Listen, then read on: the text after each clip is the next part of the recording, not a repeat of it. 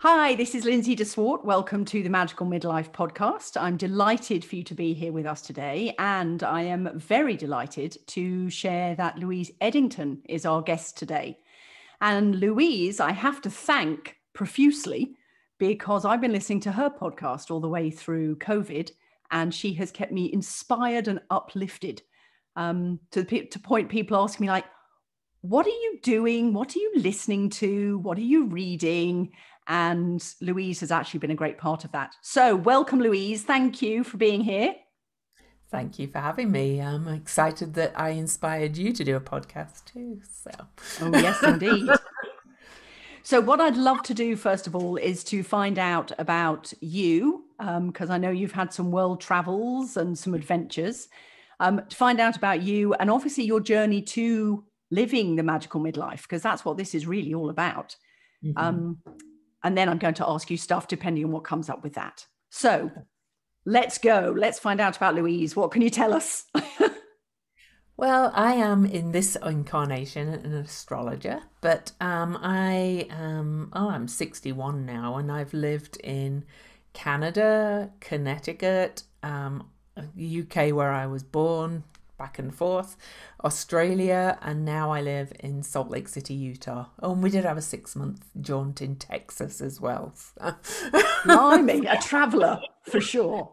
So um, yes, very much a traveller, but a traveller in many ways. You know, I've um, I've had many um, kind of roles and jobs and um, and life stages. So um, I hope we can kind of cover it all.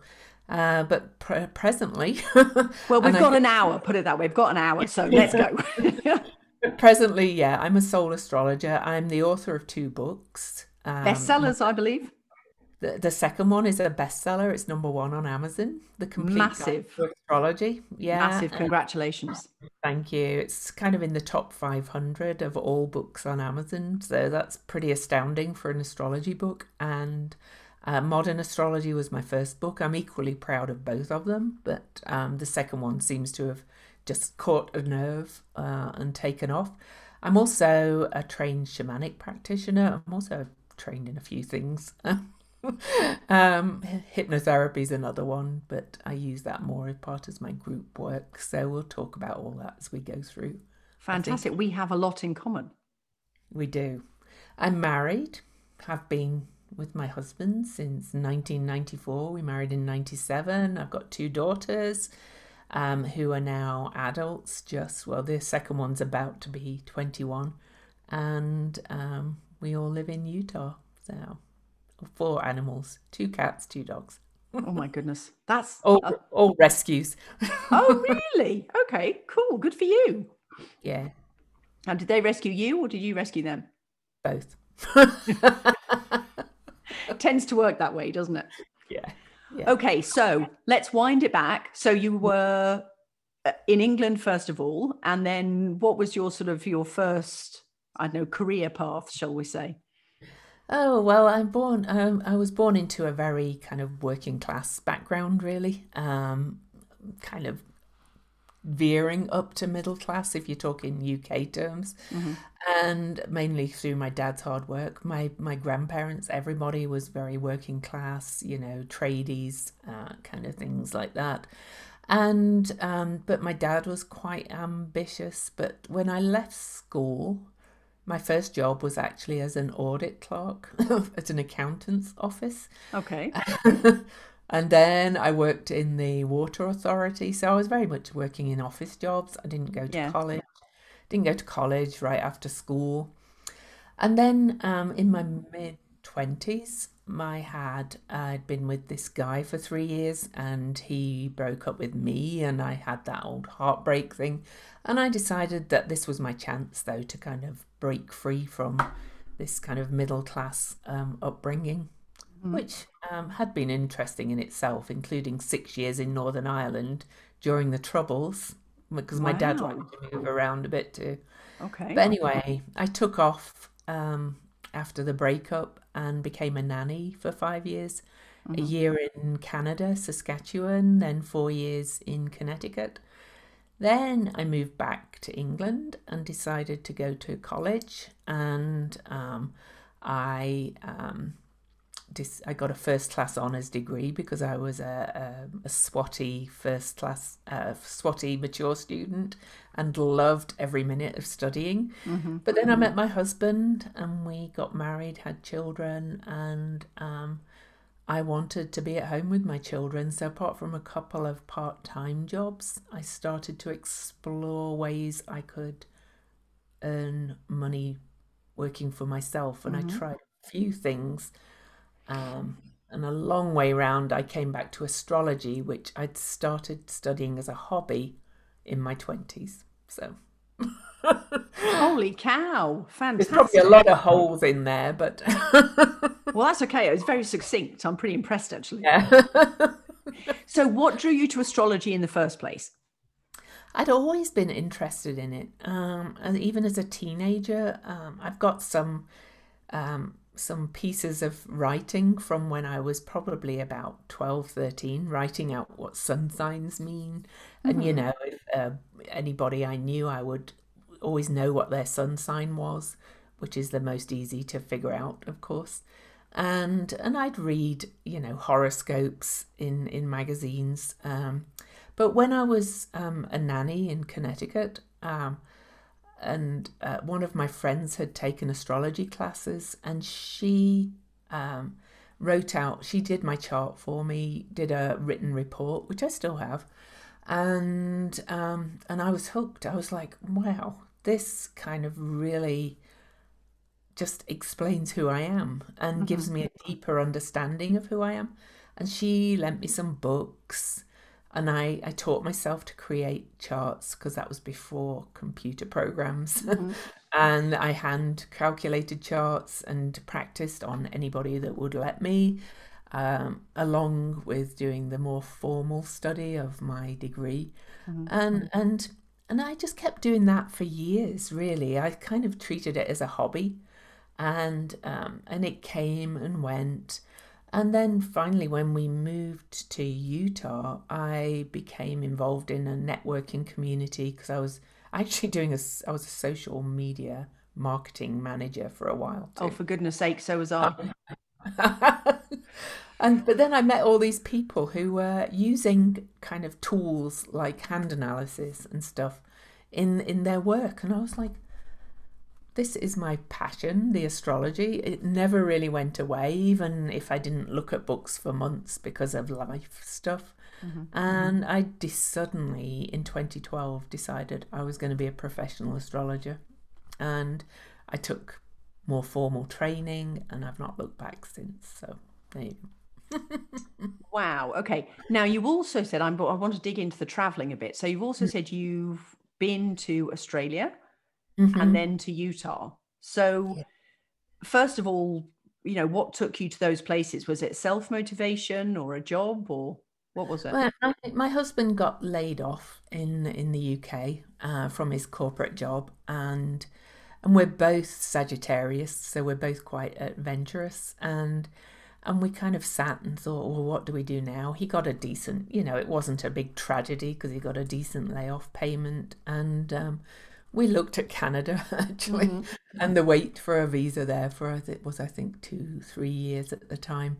But I had family in Australia, so so we talked to uh, my uncle, and they were willing to sponsor us. So we decided to emigrate, lock, stock, and barrel, and go to Adelaide, where my family lived, and. Um, so we got there intending to stay there forever, but my job, my husband got a job there, um, like a week after we got there, and um, 18 months later, they announced they wanted to move us to Utah. So, holy cow! And so, how different was the life between Utah compared to oh, Australia? Oh my goodness, so different. Um, Australia is very open, very friendly, um, you know, very sociable. Um, and astrologically as well, yeah, um, there's a thing called astrolocality, my my moon line was right through Adelaide. I just fell in love with the place and adored it. And so it was a bit of a struggle to settle here, to be honest, because mm-hmm. it's Uh, it's a beautiful, beautiful place, but um, it's a strange culture to live in. so I'm used to it now, and um, and I've made my life here. But it was difficult to settle, I will say. How long have you been in Utah? Since say? 2008. okay, right. Because my I know my husband's done quite a bit of work and traveled to Utah, rather a lot Salt Lake City specifically. Yeah. And he always said, you got to come, you know, there's the mountains and the seasons, and you'll mm. just mm. love it. Um, but at that stage, we were still quite new to Canada. And I'm like, uh, right. I'm only just settling here, uh, not ready to go again. yeah. And certainly with the whole green card thing and all the rest of it. So I was like, can we just stay here for a bit? Anyway, so here we are now, and he's changed jobs many times since then. Oh, so yeah. So you just, could have moved here too. Oh my goodness. Oh. Can you imagine if we end up being neighbours? That would be hilarious. Totally. But we're US citizens now, you know. Um, yeah. Yeah. Yeah. So tell me, how did you then get into the hypnotherapy and the shamanic path? Because that's also the path that I've taken. Also trained hypnotherapist and now just finishing off my shamanic training. Well, it's kind of funny how things in your life come back, isn't it? Really, you know, when I when I was a nanny um, in Saskatchewan, we lived right back right next to a Native American reservation, and I just and I had Native American friends there, and I went to the powwows and things. And then when I moved to um, Connecticut, um, I got into similar circles, and I got I used to get invited to um, sweat lodges, like mm-hmm. real sweat lodges, run by Native Americans, often on the reservations in Pennsylvania and I had many magical, magical experiences. And when I moved back to the UK and, and did my degree, I did American Studies with a, a specialization on Native American literature and, and, and such like. So I was always interested in that kind of shamanic kind of energy and culture and the connection with the um, imaginal, magical realms and and and things. And um, and then I had a friend here when we moved to Utah who had done shamanic training and um, she would just core shamanism. I don't know if you do core shamanism. It's kind of run, it's kind of a, um, uh, a shamanism that is takes all the core elements from all the sham- shamanic cultures around the world Oh, okay. And, and teaches teaches their core elements. Like shamanic journeying is not just from Native Americans; it's mm-hmm. from all shamanic cultures. And and anyway, she she had done um, intensive training and, and kind of set up her own trainings. And I did a year's training with her, and I use it mostly. I have a group, um, uh, you know, a membership community, and mm-hmm. I get people, I get my clients um, journeying to the planets and and doing soul retrieval. I do group work more than um, kind of shamanic healing per se. So, mm-hmm. Yeah. Wow. Now, and also, yeah, I, I, don't think this is too contentious to ask, but how does that work? Because within Salt Lake City, there's quite a strong religious culture, isn't there? Oh, uh, the, yeah, the Mormon or LDS yeah. culture, huge. But there's also a, a very um, strong um, alternative, if you like, community as well, especially okay. in Salt Lake City. If you go out of the city, it's a bit less so. But you know, we had one of the first um, prides in the in the US. Oh, really? I didn't realize. Hmm. Oh, yes. So it's there's kind of a whole kind of subculture. Very cool. Now, you're a bit of a fan of, well, I just sort of looked around on your website and saw that you've been involved in various different rallies and speaking and. Oh, yeah, yeah. Yeah, yeah. what's that all about? Because that looked fun. Well, I'm, I'm, quite interested in politics, and I was um, in 2016, uh, well, 2015, we became citizens. So it was going to be my first federal election because you can't vote in federal elections before. And I just love Bernie Sanders. I am a Bernie Sanders fan, and so I um, helped run Utah for Bernie Sanders and and did all kind of rallies. Got involved in a bit of an activist community.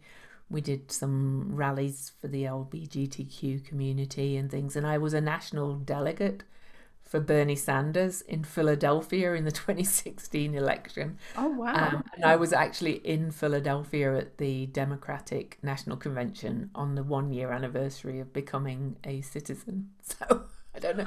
I don't know how many people have done that when they've just become a citizen. I was going to say you jumped right in there with both feet. I did. Yeah. But my work takes priority now. I kind of let my work slide a bit for that election because I got very um, involved. So, yeah. So fun. So, what's with this new lifestyle, this more alternative lifestyle that you now have, as you say, being professional astrologer and coaching your group? Um, what's the thing that you love most about it?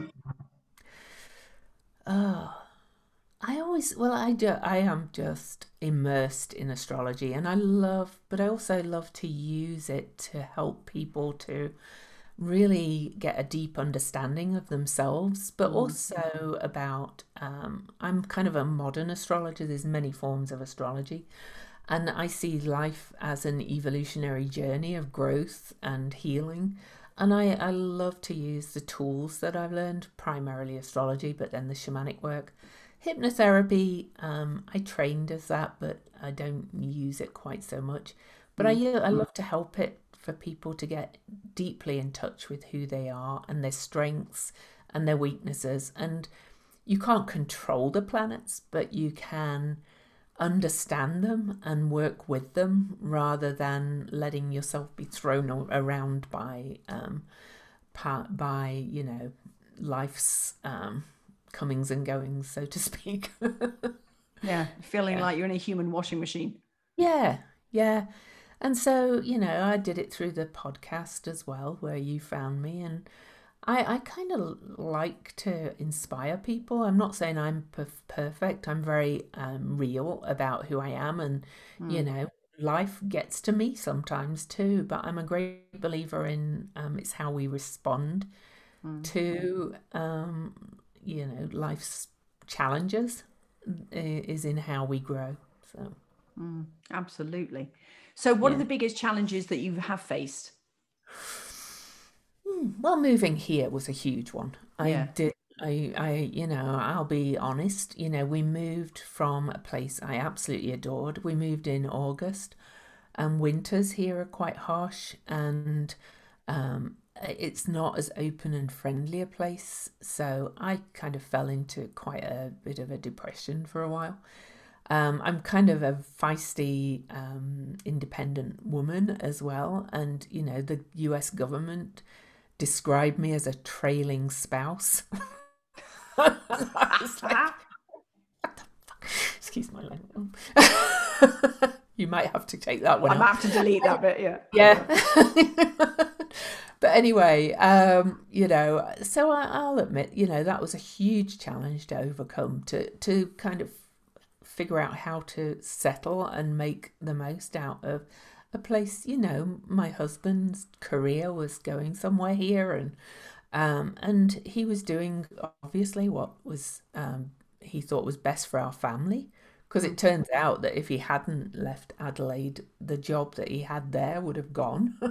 Right. and he, okay. and he and he basically had the best job in his field in the city. So so we probably would have had to leave Adelaide anyway. Mm. So so that was a journey. That was a big challenge. Um, but you know, overall, I've uh, most of my challenges have been more internal, kind of you know, uh, growth challenges. Uh, obviously, you know, getting used to being um, a wife and a mother and and all kinds of things like that, and mm. dealing with changes. But generally, I've had quite a lucky life, I have to admit. Yeah. So, yeah. So how, and again, obviously focusing on the the midlife part of it, how do you feel different now, or what do you enjoy about being mm. the age you are now? oh, I just know myself so much better. You know, I'm just, I wouldn't go back. no, nor would I.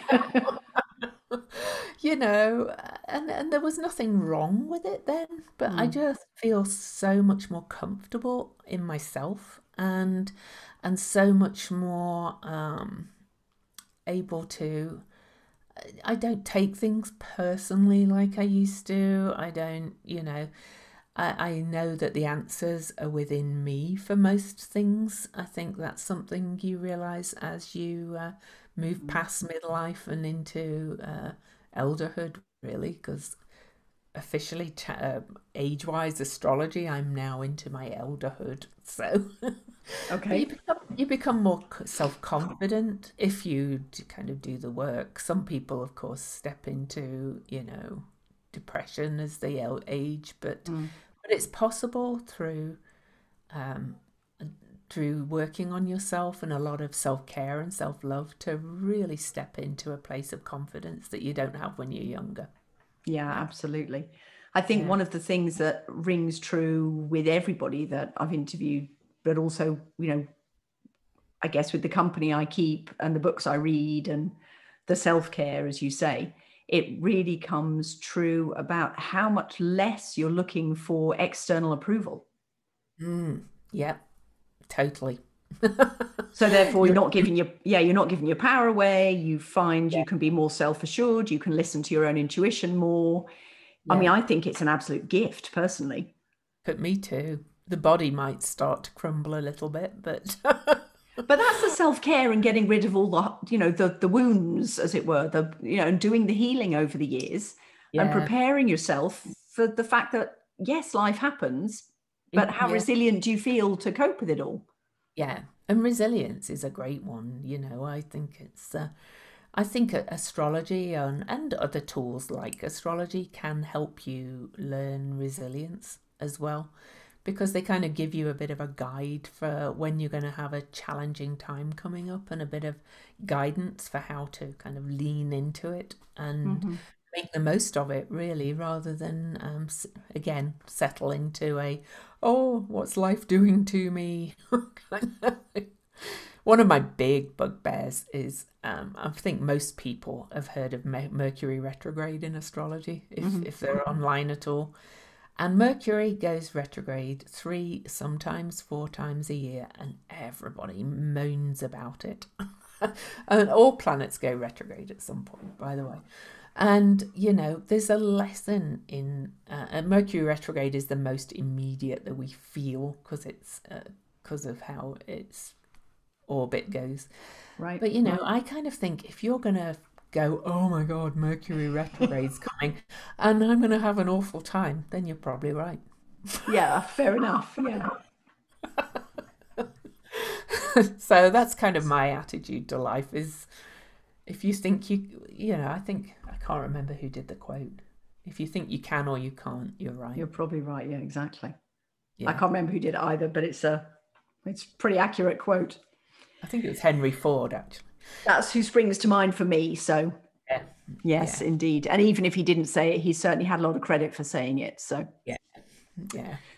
So it's it seems to me um that because we have we are in such interesting times interesting she says um, would you be happy to share with us a little bit about you know what is going on on a massive global scale? I mean for example in one of my really early introduction podcasts i said you are living with the age of aquarius whether you know what it is or not.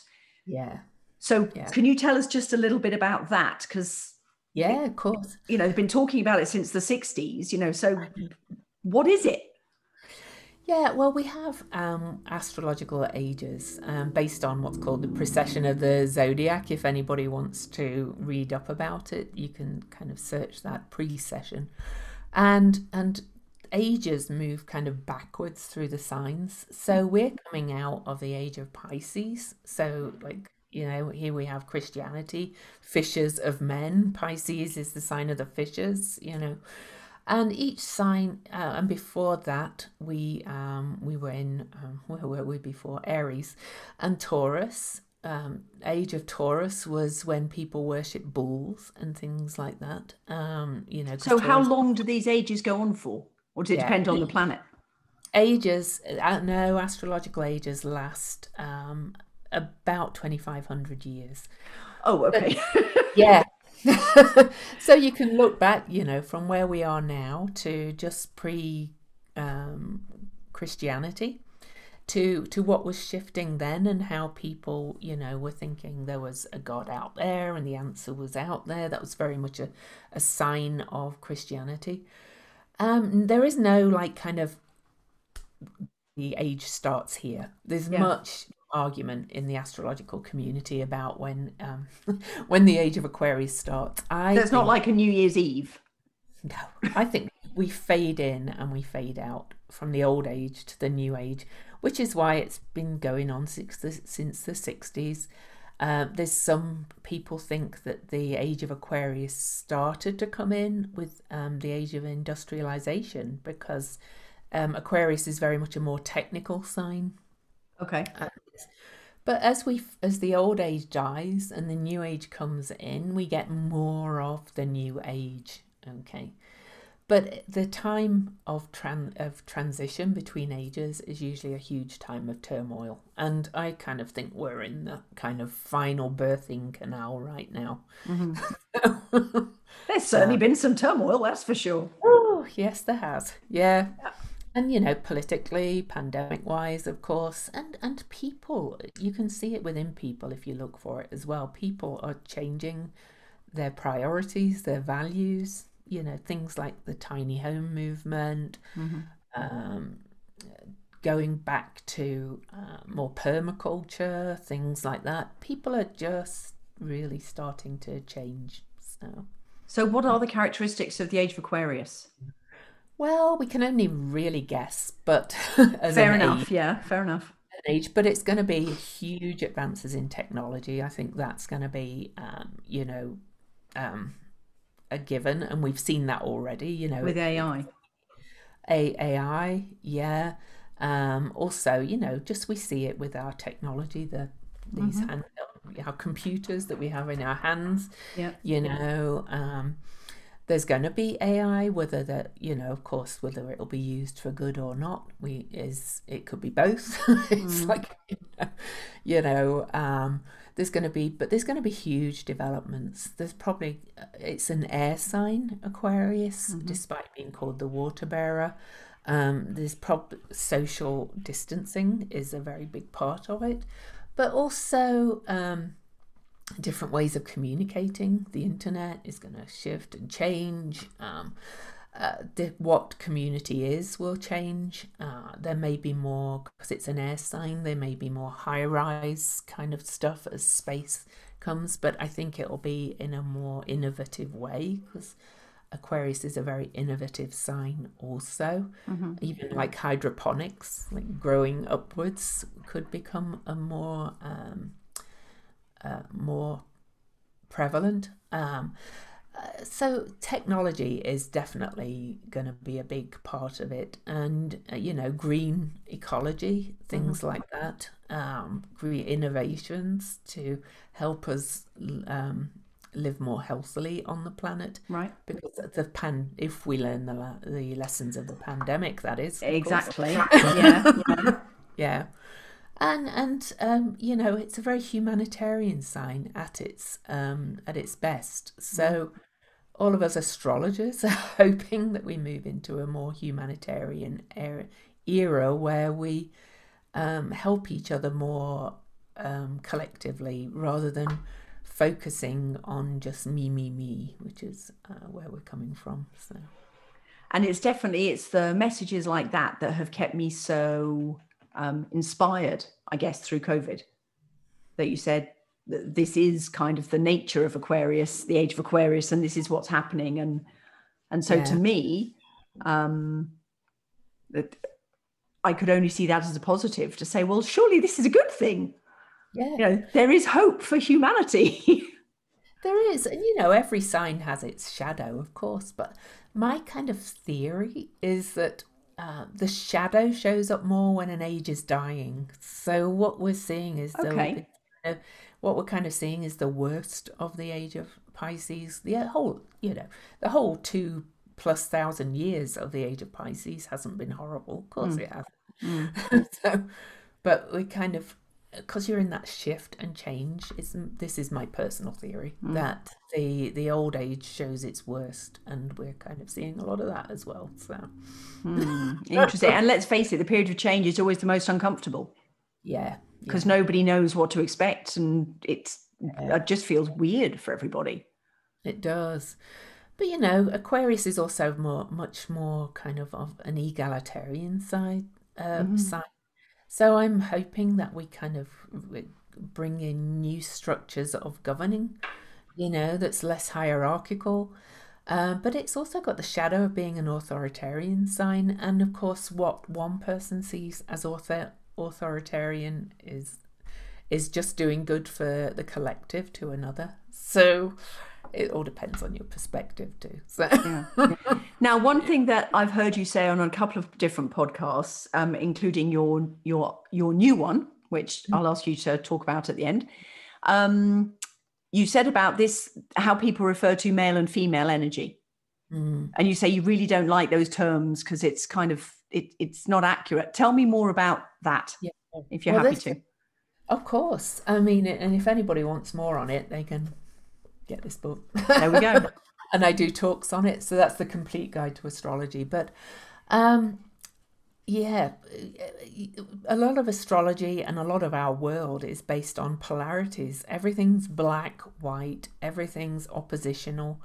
But you know, um, the book was, I was asked to write it from a non binary perspective. It's not a political thing, but it's just to speak to people where they're at. And gender itself is not, yes, biologically there are males and females, but gender's a spectrum, even in our chromosomes and things. You can have all kinds of mixes of chromosomes, you know, mm-hmm. and then there's uh, then there's intersex people as well. You know, everything isn't just totally masculine, totally feminine, or totally male, totally female.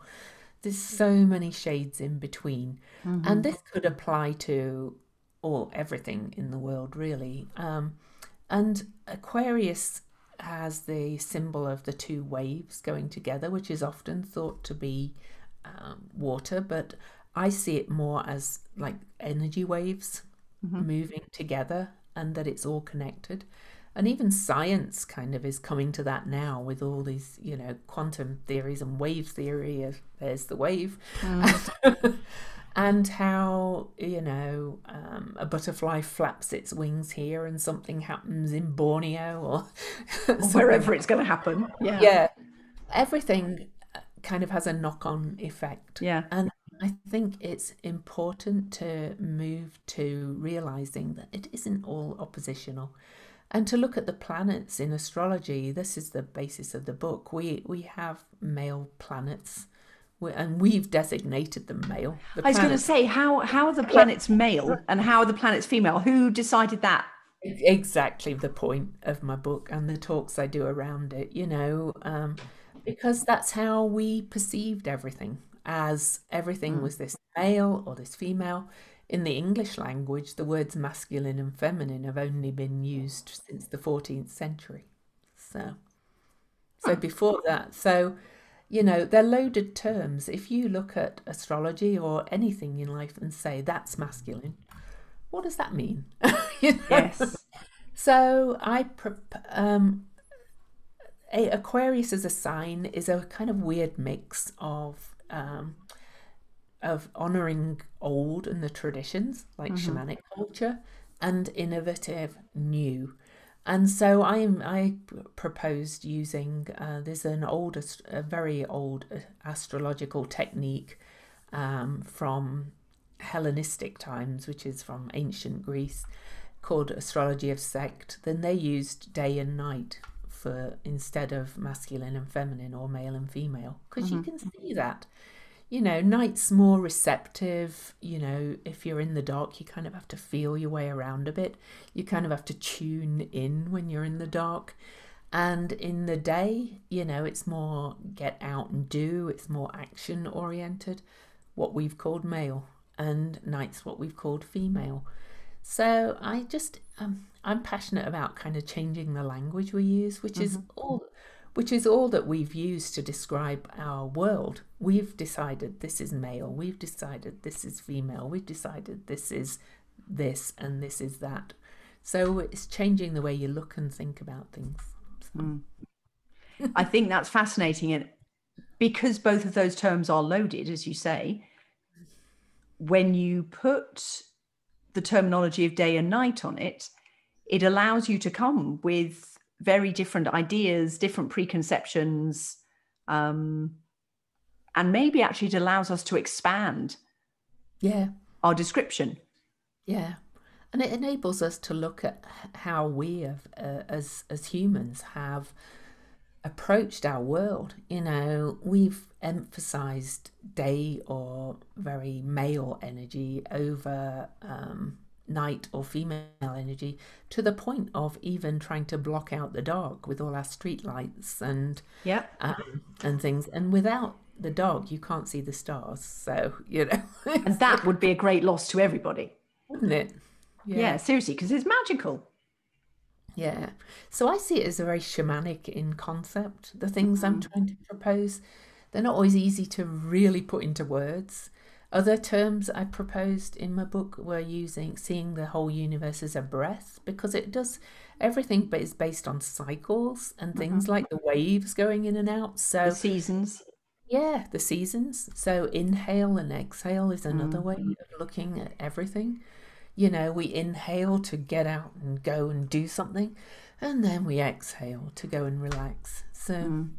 um I think I'm bringing my shamanic work into it, into it in that way as well. So, I think, and this is going from experience as well, because I've been coaching for about 16 years, and it started off with fitness coaching, and then moved into um, NLP coaching, and now moving far more into the energy. And I think once you start learning a new mod- modality, you can't help but intertwine it all in what you already know, because it's almost as if, well, this is the foundation of what I know yeah. And then I'm bringing in all of this, and uh, the new information so often answers questions that it when does. you work with one modality for a long time, you're sort of like, yeah, I like it, but there, yeah. there are some holes in that, you know. Yeah. Yeah. And so the new modalities come in and they fill in those holes and they allow you to grow with yeah. what you know, what you offer, and how you help people. And also, you know, you look back on your life and, and add and start adding all your experiences in. As you uh, start to develop a new kind of consciousness, you go, mm. oh, well, actually, that's why I did that when I was 21. yeah, looking back and going, oh, now it all fits. It all makes sense now. And that's the alchemy of it, isn't it? Yeah. Mm-hmm. I see. I see our lives as kind of an alchemical part of creation, really, which is why one of my favorite tools that I get clients working with is um, I don't know if you've heard of the Artist's Way. Most people have by yeah. now. Yeah. So for those that don't know, the Artist's Way is um, uh, is a book by Julia Cameron, and she did it for mostly for creatives, but it's about creating your life. Really, it's kind of a twelve step program for life. and I do it through the ast- lens of astrology. I, I help I I do it myself and mm-hmm. On and off and I go back to it and I get clients doing it. And and I see it as mixing in all the elements of your life, especially as you grow older and evolve, to kind of create the life you want. So mm. yeah. Yes, I, I tell you, I really talking about creating the life you want. I really want to um, offer retreats, adventure retreats for women because they're so transformational and that's bringing in all of my past sort of fitness and athletic mm-hmm. adventures um, that past and then in with the shamanic and the healing and combining yeah. it all together anyway so just as i had all of that first one planned and ready to go and just booking it anyway everything anyway so i took that as a uh, as a reason that i obviously needed to do more to open this stuff up and then yeah. it will come in the future yeah so, one of the things I find interesting about now is changing the energy of competition to collaboration. Mm. And so, in that light, have there been any key people who have really helped you on your path? Oh, goodness, so many. Um, one of the main ones is um, well, my husband's been a great one. He's always a great support. But Maridel Bowes was my main astrology teacher. Mm-hmm. And funnily enough, we met when I was doing the social media marketing coaching and I coached her on social media. and then when Funny. I decided to become a professional astrologer, I asked her who could who I could study under and she was like how about me because she actually had got a course that she'd been running for years mm-hmm. so um, she's been amazing, but um, you know, then there's some public kind of figures, um, and they're mostly kind of creative ones. But I love people like Brene Brown and um, Elizabeth Gilbert. Mm-hmm. Um, and and some podcasters. They're mostly very real people, though. Um, yeah. You know, I'm not kind of a, a, starstruck people. I like people who are very honest, very um, authentic, very vulnerable. Um, I'm trying to think of who else. There's so many probably over the years. There's there's the person yeah, that introduced me to astrology when I was 29, who did my chart. My friend Karen. so. My friend Karen, she's been my greatest support.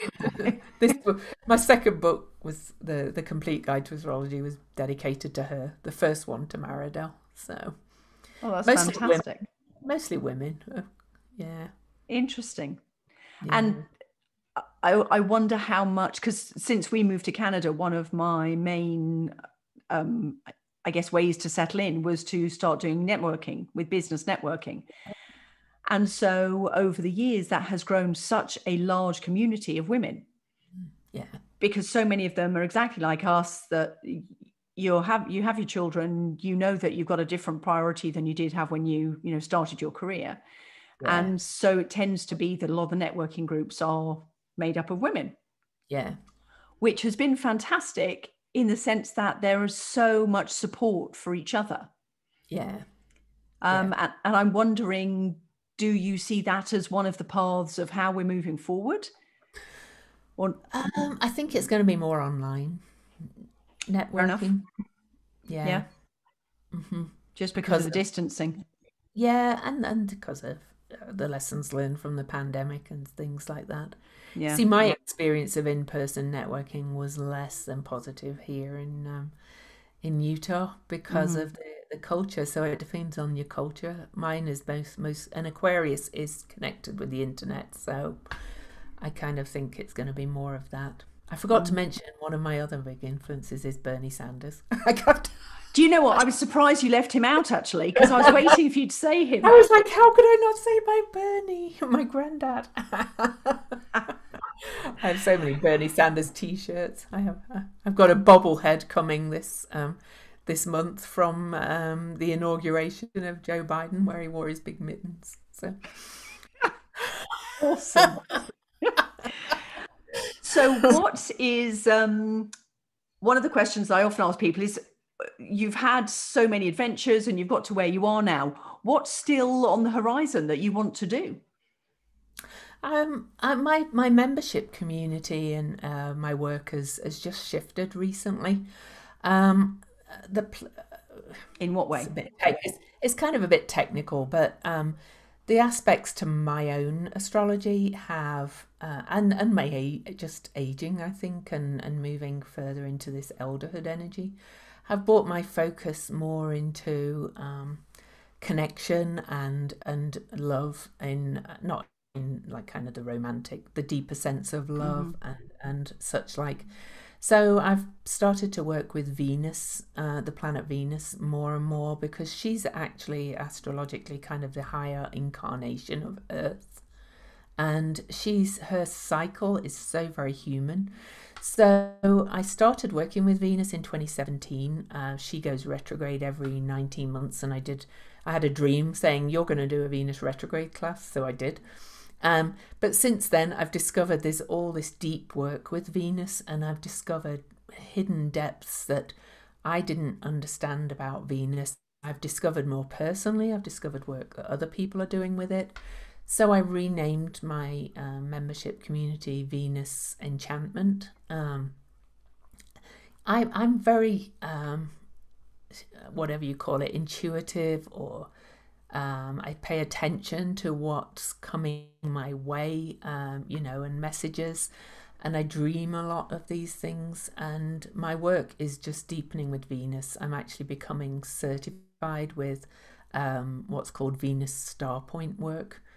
Ven- the Venus Star Point is a five pointed star. So it's mm-hmm. the head, the hands, the feet. Uh, it's it's it's very deep work and and I, w- I just want to expand the membership community and and work with people through helping them to work deep in at a deeper level with Venus.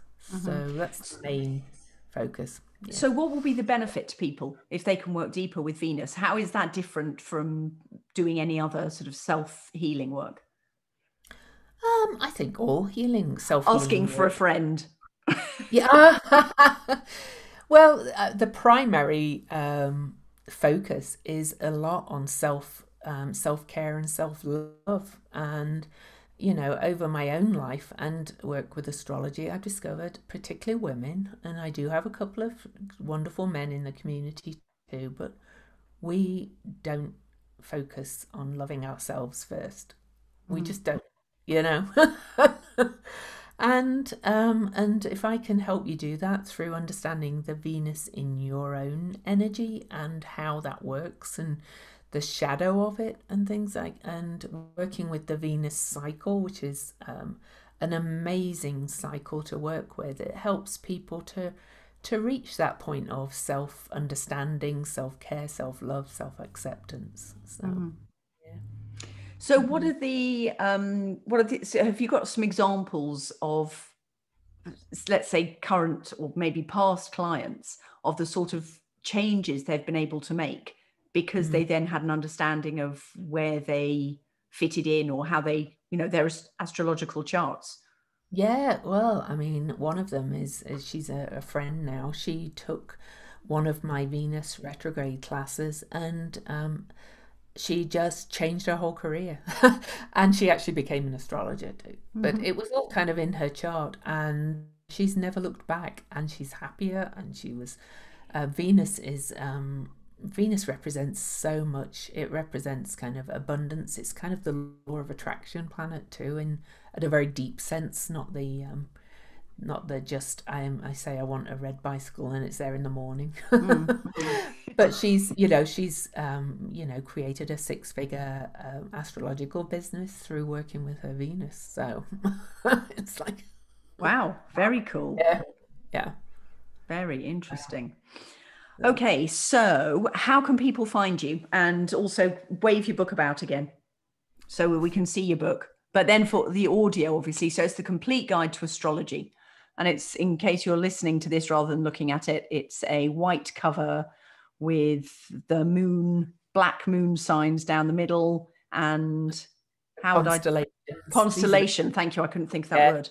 And yeah. constellation. So if you go moon phases. The moon phases. Thank you.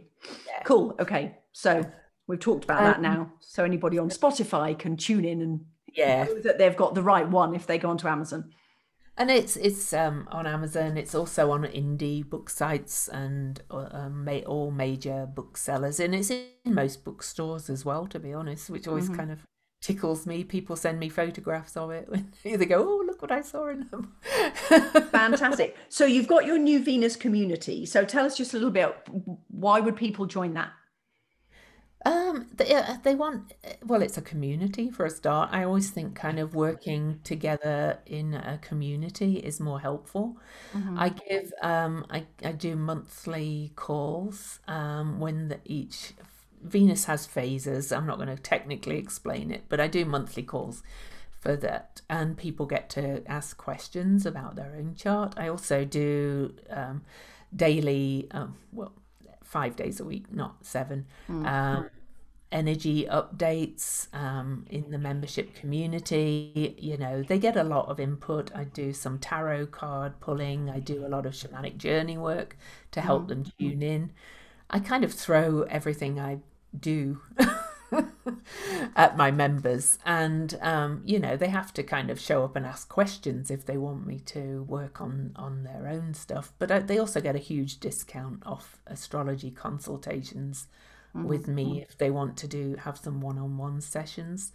And it's just my preferred way of working with people. I'd rather work on an ongoing basis because uh, whilst I love doing astrology consultations and you know I get hugely magical testimonials from people, um, I think it's often like it leaves people with okay well what do i do now yeah and that's fair enough because yeah. i think yeah. i mean for example um, i have worked with a local astrologer who i've loved and she's opened up so many new options and ideas mm-hmm. um, and she's been fantastic anyway so i said to my husband "You've got to go and see her You've got to go and see her and then so he went to see her and he said oh she said all of this stuff which was you know fantastic.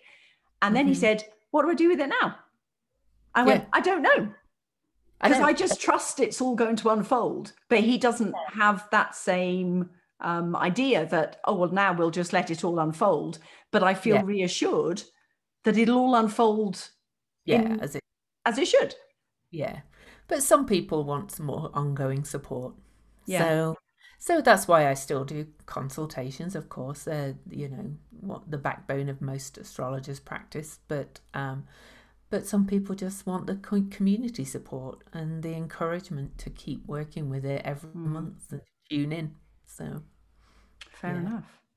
Fantastic. Yeah. Okay, so what is your uh, what's your social media and stuff so people can oh, find oh, yeah. you if they want to follow on? Oh, my website. Come on, Louise, get on it. my, my website is my name, louiseedington.com, L O U I S E E D I N G T O N.com. Most people put two D's, so it's one D. Yeah, I started with two D's and then yeah. went, nah, that's not right. Yeah. And and my business name is Cosmic Owl Astrology. Hence, uh, for those on video, I have an owl behind me. Sometimes I have a green screen with an owl behind me. Um, the owl is my um, spirit animal, I guess. Um, mm-hmm. and um, but anyway, you can find me on um, Instagram, Cosmic Owl Astrology, Facebook, Cosmic Owl Astrology. I have a free Facebook group, uh, group called Cosmic Owl Astrology Cafe. Um, YouTube, Cosmic Owl mm. Astrology. Mm. Twitter's the only one I don't really do. So. I was going to say, which of them do you most like to interact on? Because everybody like, really has a favorite. I like Facebook most. Yeah, you see, we're that generation. Everybody says it's done. Well, yeah, but my both my kids use Facebook a fair bit, but um, I'm trying to explore TikTok. I have, I don't oh, know. you're brave. Well, a lot of my friends are moving to TikTok because they get fed up of Facebook's censorship and mm. and you know um, its algorithms saying if you use this word you're going to get a three day ban, which I've had in the past. oh, really? But it can be unwittingly, you know. Yeah. I saw somebody had described themselves as white trash the other day, and they got a threat of a three day ban because they weren't calling anybody else yeah, yeah. white trash. and um, and we, I understand it's algorithms, but um, mm-hmm. but you know, I'm try I try to expand and explore the others. But I must okay. admit, Facebook's still my favorite. Facebook's your one. Okay, fair enough. Cool.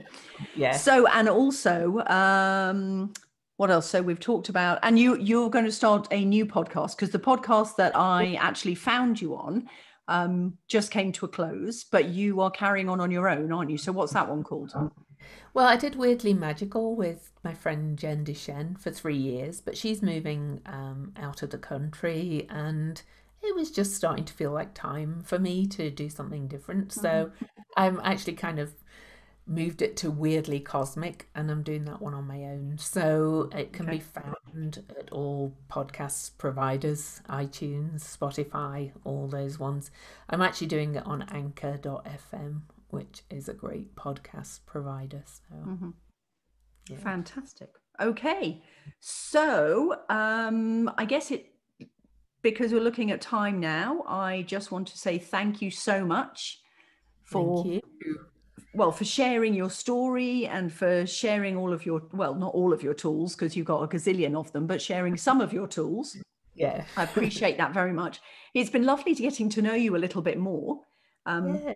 as i said at the beginning i feel like we go back so long because you've kept me going all the way through covid which i'm so grateful for and now we're connected on Facebook. So absolutely. And yeah. now I feel like, you know, I feel like I actually know you a bit more and you've had a chat with me and that's awesome. So thank you again. Huge gratitude to you, Louise. I appreciate oh, it very much.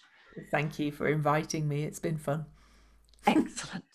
So, just left to say, please take a look at all Louise's um, book and group and Facebook and website. And if you've liked this podcast and you've liked what you've heard, please um, subscribe, share it with your friends. Um, and if there is, if you would like to know any more about the work that I do, please come over to find me at Facebook at Soulful Adventure or Lindsay de Swart and my website, soulfuladventureliving.com. And you can find out more about the work that I do there. And apart from that, I will close by saying thank you and bye for today. And I will see you on next week's episode. Take care. Bye. Bye, everybody.